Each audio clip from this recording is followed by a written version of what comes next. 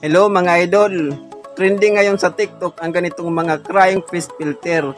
Halos karamihan ng mga nakikita natin sa TikTok ay mga ganito. Gusto rin natin gumawa ng mga katulad nito, kaya lang hindi natin alam kung saan makikita sa TikTok ang filter nito. Pero kung gusto nyo pa rin gumawa ng mga katulad nito, inire-recommenda ko sa inyo ang Snapchat. Ayan. Okay mga idol, wag na nating patagalin pa. Tara, magsimula na tayo.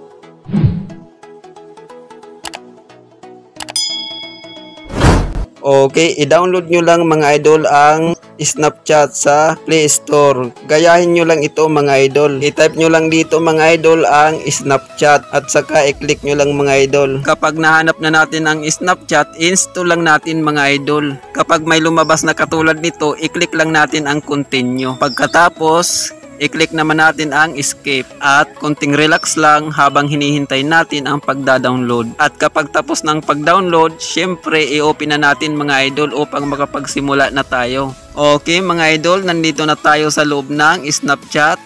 I-click lang natin dito sa filter at lalabas na yung crying filter na ating sinasabi. Ayan, lumabas na. Kung gusto nating mag-picture, i-click lang natin dito. O, diba? Crying na crying na siya.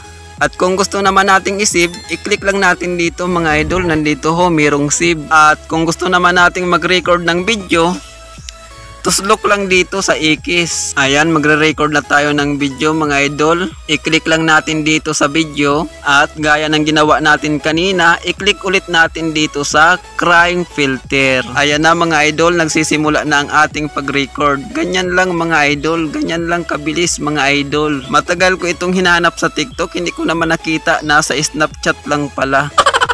Parang pag-ibig lang na kapag hindi mo matagpuan sa lugar nyo, sigurado nasa ibang lugar siya mga idol. Okay, kapag gusto nyo nang i-stop, tuslok lang dito.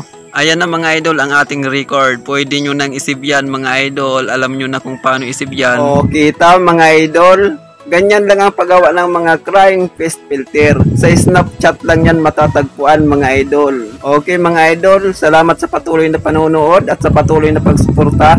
At kung bago ka pa lang at kung napadaan ka lang sa video na ito, huwag mo namang kalimutang mag-subscribe at kahit na rin ang notification bell para sa mga video ina-upload natin.